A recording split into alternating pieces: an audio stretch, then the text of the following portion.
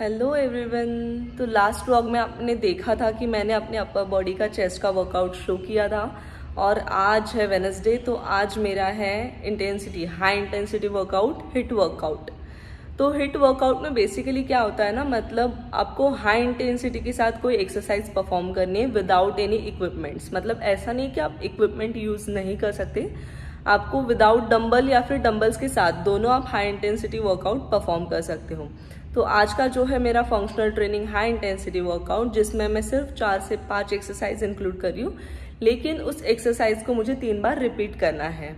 सो so, अभी करते हैं शुरुआत। ये मेरा सबसे फेवरेट वर्कआउट है क्योंकि इसमें ना बहुत ज़्यादा मज़ा आता है नई एक्सरसाइज होती है जो हिट मतलब हाई इंटेंसिटी होती है तो और भी ज़्यादा परफॉर्म करने में अच्छा लगता है। तो चलिए अभी करते हैं शुरुआत।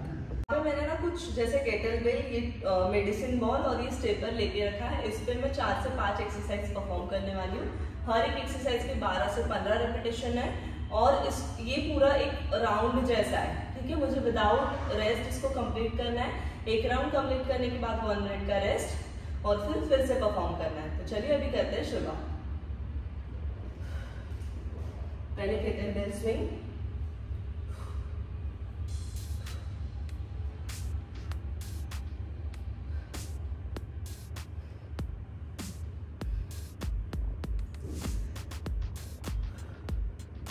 दिखने में जितना इजी है ना उतना इजी है नहीं। है टेन इलेवन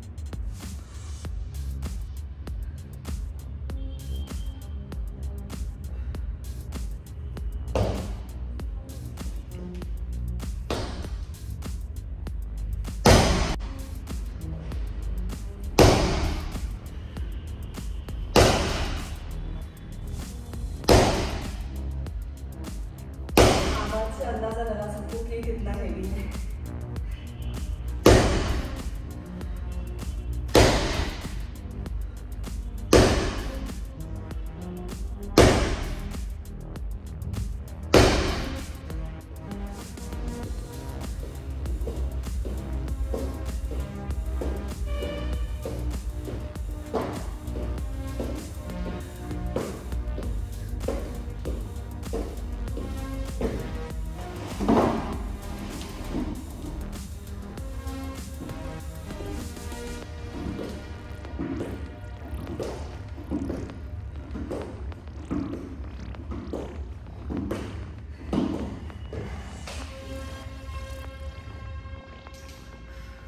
पहला राउंड तो मेरा कंप्लीट हो गया है जिसके मैंने तीन राउंड कंप्लीट किए फ़र्स्ट जो एक्सरसाइज थे, और अभी ये ना मैंने दो इक्विपमेंट यहाँ पे लिए ये है योगा का बॉल और ये ये है बोजू बॉल तो अभी इसके साथ मैं सिर्फ़ दो ही एक्सरसाइज परफॉर्म करने वाली हूँ, लेकिन उसके भी मैं दो से तीन राउंड लेने वाली हूँ. और ये जो स्पेसिफिकली है, ये ये जो इक्विपमेंट है, ये हमारे बैलेंस पे और कोर पे दोनों पे वर्क करता है. तो चलिए, सबसे पहले मैं बोजू बॉल पे करूँगी माउंटेन क्लाइंबर और फिर इसके साथ करेंगे रशियन ट्विस्ट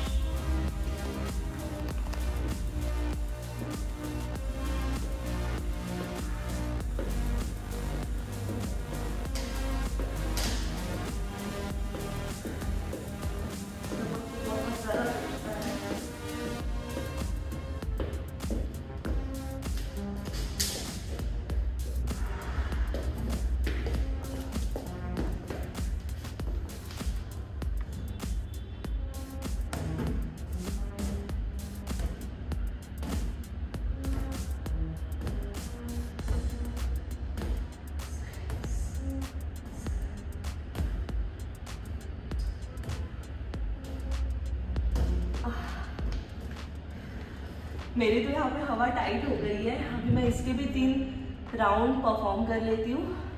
तब तक कि आप मेरे चैनल को सब्सक्राइब कर लीजिए और वीडियो अच्छा लगा तो प्लीज़ लाइक एंड शेयर कर देना। मिलते हैं नेक्स्ट वीडियो में।